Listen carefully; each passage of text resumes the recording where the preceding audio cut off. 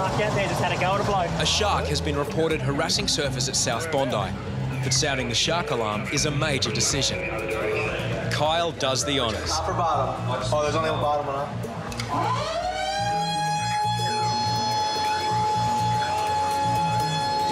Just attention everyone out in the water. We've just had a shark sighting. We've sounded the shark alarm. If everyone would just like to make their way back to shore. We'll um, do a search for uh, probably 15 minutes. They'll, they'll go up and down just to check it out. And once it's all clear, we don't see anything, we'll let the, pretty much everyone get back in the water again. I didn't see anything. Plenty of fish. It doesn't deter the surfers, as you can tell. They just want to know how big it is. Anything over 10 foot and they might get out. The all clear is signalled and the lure of the surf becomes irresistible.